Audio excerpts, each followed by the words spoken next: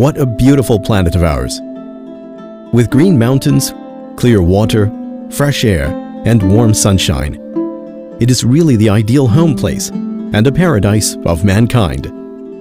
However, today the human society is unfortunately still faced with harsh challenges, such as poverty, hunger, unemployment, and environment degradation, etc.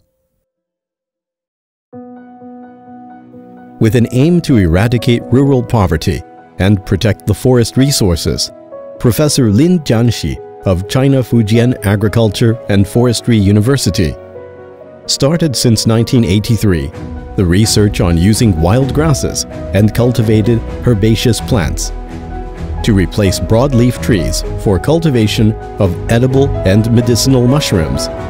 And he successfully invented the Juncao technology in 1986. This invention respectively won the Geneva State Prize during the 20th International Invention Exhibition and the prize of French Ministry of Interior and Land Planning in the 85th Paris International Invention Exhibition. In 1994, Juncao technology was enlisted by the United Nations Development Program, UNDP, as one of China's priority projects for cooperation with other developing countries.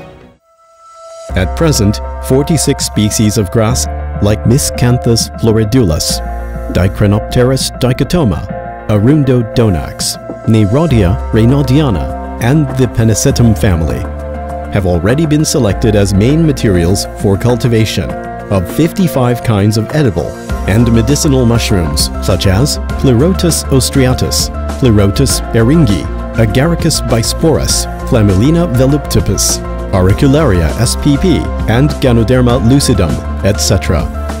Mushrooms can be processed into highly value-added tonic food products, and even the spent substrates, the residue, can still be processed into functional feed and feed additives. Those people who used to be migrant workers now can stay at home with good income. They don't need to leave village. Each farmer grows 1.3 HA Lingzhi under rubber trees for one season within 5 to 6 months they can earn 8,000 USD. Some Juncao grass species are high-quality forage themselves.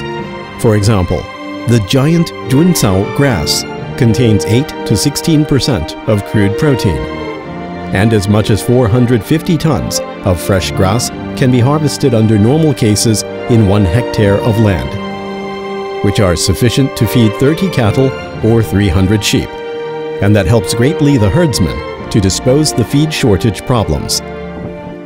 Little grass makes me rich. You see, thanks to Prof. Lin. Otherwise, how can I earn so much money?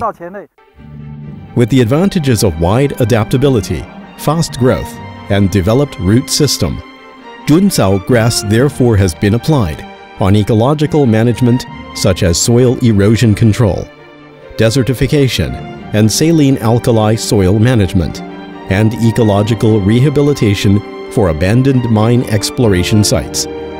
Due to the quick vegetation restoration, high capacity of holding water and soil, and low investment, it effectively integrates the dual economic and ecological benefits.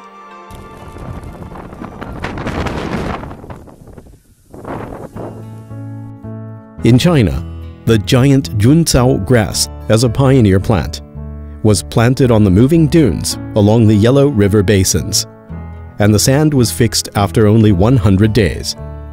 In Rwanda and Lesotho, Juncao grass was applied for soil erosion control, and both achieved significant results. Comparing with maize land, it reduced soil loss by more than 97% and reduced water loss by more than 80% respectively.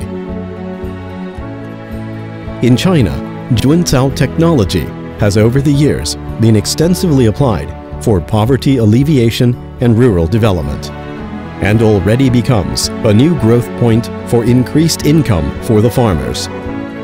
Professor Lin Zhanxi was awarded honorary title as the Champion of Poverty Alleviation in China.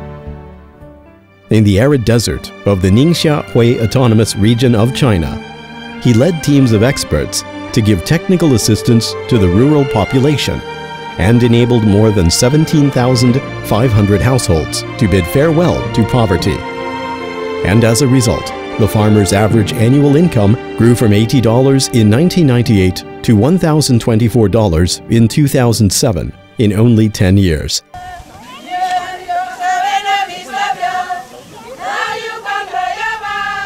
The Chinese government, for many years, enlisted Juncao technology as economic aid projects for Papua New Guinea, Rwanda, Lesotho, Fiji, and Eritrea, respectively. And we really appreciate what it's doing. So I think that it's going to bridge the gap between technology transfer, the technologies that are in China that we don't have here, the, the um, ways of, the, the means and ways that it's reaching farmers is also new.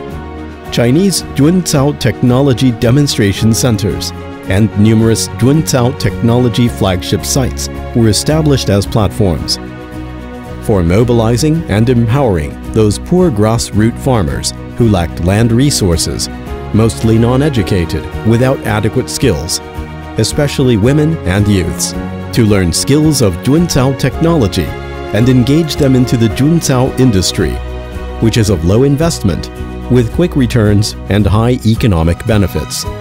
So they quickly increased their income and mostly lifted out of poverty and backwardness. When I produce like uh, six six thousand, I have a, a profit of one million. Every day, we supply at least 50 kilos to our client. The price is uh, about uh, $2. China National Engineering Research Center of Juncao Technology has the honor to receive the visits of head of state from seven countries. Established Juncao Technology Demonstration Centers in eight countries and held 14 international symposiums on Juncao industry development. As entrusted by the Chinese government, the center has over the years organized 160 international training courses for 6,042 participants from 101 countries. 2010 to attend the international training course on Juncao technology. I went back home and impart the training to my community. So that's what motivated me to come for further studies, to do my master's in Fujian Agriculture and Forestry University. The Juncao technology also acted as a medium in promoting friendship between Fujian province of China and Eastern Highland province of Papua New Guinea and KwaZulu-Natal province of South Africa by establishing sister provinces relations with them respectively. Today, Juncao industry has become an emergent industry in some developing countries. I'm very happy because my wife have been in China and have been trained on uh, mushroom production. When she came back, she started this business and we try to, to find a market, domestic market or outside of the country, uh, like Uganda, Burundi, Tanzania, Congo Brazzaville. Uh, per month, we have at least uh, 3 million Rwandan francs as pro, uh, net profit. For farmers, for instance, after training, they can make easily uh, 200,000 Rwandan francs per month. That is a good salary. A number of entrepreneurs and researchers who have been trained and nurtured by the Chinese Juncao experts are now playing active and important roles in promoting the development of Juncao industry in their respective countries. I'm doing PhD in ecology. I had to make follow-up to make sure that this technology uh, is implemented in my country, Tanzania, and that was my wish. The, we are very grateful, thankful your technology is very important, useful, is helping Rwandan developing economically.